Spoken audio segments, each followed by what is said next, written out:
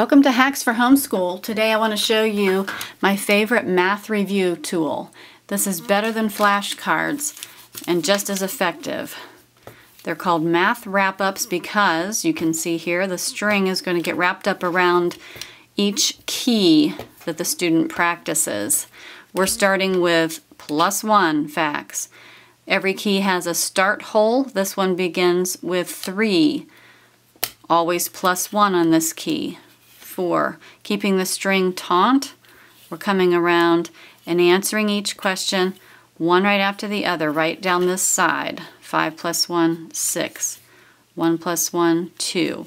So it's very simple.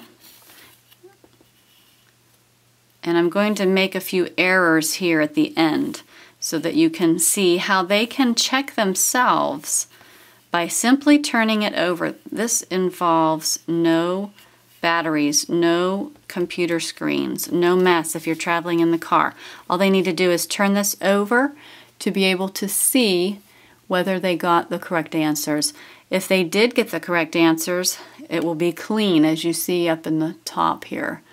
Okay, but down here you can see there are a few lines molded into the plastic here where they can see, oh, this is not clean. There, these are the exact locations of where the string should be.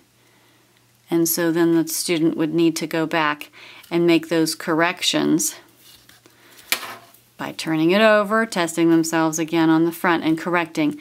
This is so simple. I love that it's all together. These pieces do not get lost. A string is the simplest thing.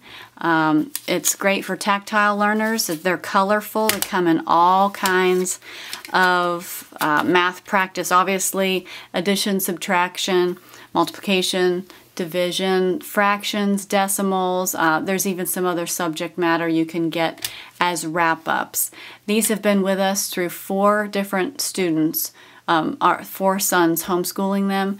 They're still in great condition uh, we are um, we had one fix here that we did and it's still going strong. We used it so much. Um, I would never go back to flashcards after using these math wrap-ups. It's a great investment.